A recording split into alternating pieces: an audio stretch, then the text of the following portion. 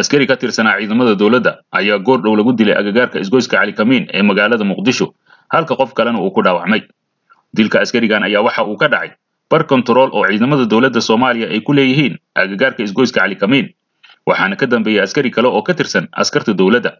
Qof goobjooge ahaa xilliga uu dilka dhacay ayaa shabakadda sirta media u sheegay in dilku uu yimid kadib markii askariga la dilay. Uu isku dayay in bajaaj uu marsiiyo waddada oo ciidamada u xirneed hase yeeshee taasi ay muran ka dhalatay waxaa xirneed waddada.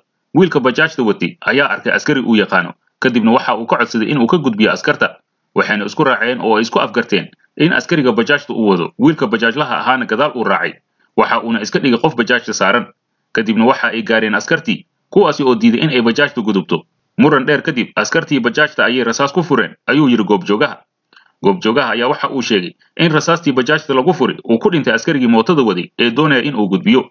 Iyada oo sidoo kalena ninkii mootada hore u watay uu soo gaaray dhaawac culus isla markaana loo qaaday mid ka mid ah isbitaalada magaalada muqdisho. Askarta joogta agagaarka isgoyska cali kamiin ayaa inta badan waddada iska xirta ayaga oo bajaajlayaasha ku qasba in ay bixiyaan lacag baad ah ama dib u noqdaan.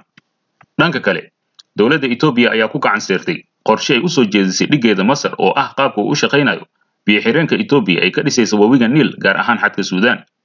Masar oo ku tiirsan wawiga niil ayaa ka walaacsan in biyo-xireenka etoobiya u horseedi karo gabaabsi ku yimaada biyaha iyo waraabka wasiirka biyaha etoobiya saleeshi bakele ayaa sheegay in masar ay doonayso ka faa'iidaysiga biyo-xireenka taasina aysan aqbali doonin waxa uu qorshaheena yahay in biyo-xireenka aan buuxino xilli roobaadka soo socdo waxaana bilaabaynaa in aan ka dhalino korontada bishii disembar ee sanadka labaatanka ayuu raaciyay hadalkiisa wasiirka biyaha ee etoobiya dhammaystirka dhismaha biyo-xireenka etoobiya ayaa hadda ku dhow in la dhammaystiro wixii warar dheeraad ah oo kusoo kordha waxaad ka heli kartaa shabakadda sirta media